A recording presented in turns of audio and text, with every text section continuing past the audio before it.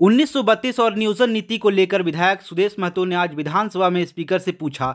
विपक्ष यह जानना चाह रही है कि नियोजन नीति के बारे चीज़ों को सरकार स्पष्ट करे। यह तो आपका भी फ़र्ज़ बनता है कि आप सरकार से जवाब दिला दे। ये तो आग्रह है हम लोगों का। मुझे तो लगता है कि आपका चेयर दाहिनी ओर थोड़ा झुका हुआ है क्या? इस पर विधानसभा अध्यक्ष ने कहा कि अगर आप इसी भावना से ग्रसित हैं तो इसका इलाज मेरे पास नहीं है। नहीं, मैं भूमिका पर सवाल नहीं खड़ा किया, मैं केवल आग्रह किया। मैंने शंका ज़ाहिर ज़रूर की है। और आग्रह किया है कि वो अगर लगातार तीन दिन तक कार्य बाधित हो रहा है और स्पीकर साहब चूँकि हमारे अभिभावक वही हैं हाउस के अंदर में, वो ये अनुभव कर रहे हैं कि ये कार्रवाई बाधित होने से नुकसान हो रहा है और साथ देना चाहिए और सहयोग करना चाहिए दोनों पक्ष को और राजहित के प्रश्नों को जो मान्यवर लेके आ रहे हैं, उनका हल निकलना चाहिए। तो मैं ही आग्रह किए, उनके पास वो शक्तियाँ हैं कि जब राज्य के अंदर या फिर हाउस के अंदर हाउस के अंदर जब ऐसी परिस्थितियाँ उत्पन्न होती है तो वो दल के या विपक्ष के या पक्ष के लोगों को एक साथ बैठा के कार्यमंत्रणा बुला सकते हैं। मैंने यही आग्रह किया कार्यमंत्रणा बुलाना चाहिए। अगर उनको ये पीड़ा है कि इससे दिक्कत हो रहा है तो वो अपनी शक्ति के अधीन उनको एक पहल करना चाहिए ताकि उसका कुछ रास्ता निकल सके। यही आग्रह मैंने किया है। सर क्या मानते हैं आप कि उनकी कुर्सी दाहिनी और कुछ ज़्यादा झुकी हुई है? मैंने मज़ाक से ये बात कहा है।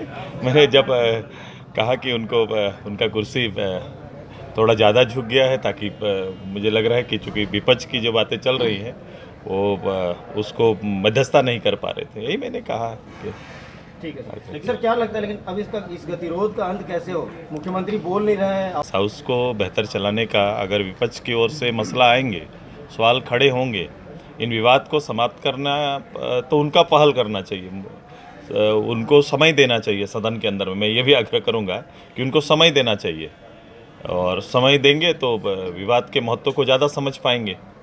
ऐसा थोड़ी है जो लोग विपक्ष के लोग हैं, उनके अपने मुद्दे नहीं है। अपने क्षेत्र के बहुत सारे मुद्दे हैं, लेकिन उनको तिलांजलि दे रहे हैं और राज्य के बड़े मुद्दों को सामने लेकर आए अगर राज्य का बड़ा मुद्दा सामने आया है तो मुख्यमंत्री जी को सामने आना चाहिए। और बड़ा इसी इसी पर आपने विशेष सत्र बुलाया था। आपने स्पेशल सेशन बुलाया, बिना डिबेट का। ये पहला इस तरह का हुआ, जब स्पेशल सेशन आता है, जिसमें विपक्ष को बोलने का या किसी को अपना पक्ष रखने का अवसर नहीं मिला था।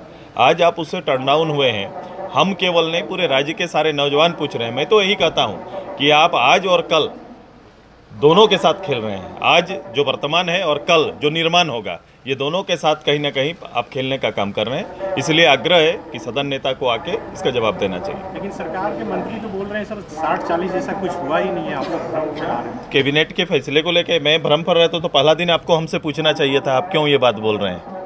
आपने ज़रूर कैबिनेट के उस निर्णय को देखा होगा जिसमें उन्होंने विलोपित किया है। जो उनके जो उन्होंने नियम लेके आया था स्थानीय नियोजन के लिए, मैट्रिक की अनिवार्यता को जो उन्होंने शर्त बनाया था, उसको उन्होंने विलोपित किया, कैबिनेट के में गए और उन्होंने उसको विलोपित किया है। तो अगर ऐसा किया है तो वही तो जानना चाहते हैं कि किस परिस्थिति में ये काम हुआ है।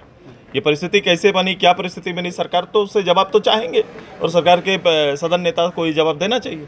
सर, कल आलमगीर आलम जी का बयान आया है कि इसी नियोजन नीति के तहत इतना रोज़गार देंगे कि आप लोग चुप हो जाइएगा तो संतुष्ट कर दे सबको, खड़ा होकर। ही तो चाह रहे हैं कि हमको चुप करने के लिए उनको चुप, आके बोलना पड़ेगा ना। वो आके बोल के दिखाए। बोले वो। वो कर दे, राज्य की जनता तो वही चाहती है, दे दीजिए।